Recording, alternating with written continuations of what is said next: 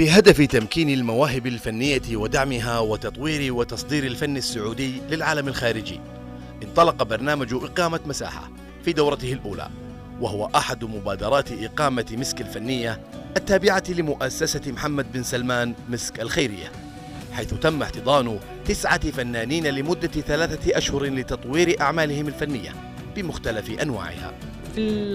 مرحلة البحث في الاستديو لما تعايشتنا آه، تكلمت فيها عن آه، كيف الواحد يتعايش مع فقدان واحدة من حواسه وكيف ممكن حتى تتعايش مع كامل حواسك. في حالة من حالات آه، معظم بعض الناس عندهم اللي هي اسمه الحس الإدراكي إنهم يشوفوا الأصوات ألوان أو يشوفوا الأصوات أشكال أو يشوفوا الأصوات أسماء أيا كان.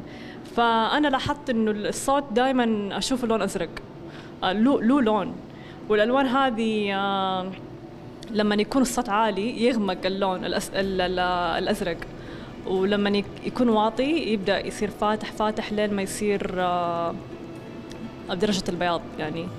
تختلف الأعمال الفنية باختلاف الموهبة فمنها ما يجسد الحالة الداخلية للإنسان وما يجسد الطبيعة مع مزجها بالتراث السعودي. لتخرج بحلة خضراء كالرياض الخضراء إضافة إلى مشاركات أجنبية في هذا المعرض. يعني صعب الواحد يتكلم عن الحديقة والفن الإسلامي من غير ما يتكلم عن السجادة. السجادة هي المرجع الأول إذا للشخص اللي بيشوف كيف آه، ثقافتنا أن الطبيعة لها دور كبير. يعني من الأشكال والورود والنباتات اللي دائما في تكرار وجودها في السجاد.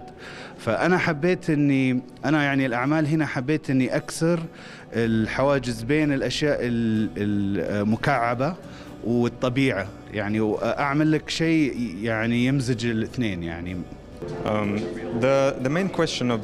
يمكننا أن نتعرف على أنفسنا من خلال العالم الافتراضي ومن خلال الاجتماعات الرقمية والعالم الرقمي ومن خلال المساحة الرقمية وخصوصا لأنها أصبحت جدا مهمة بعد جائحة كورونا حيث أن الأنشطة أصبحت تعتمد على العالم الافتراضي.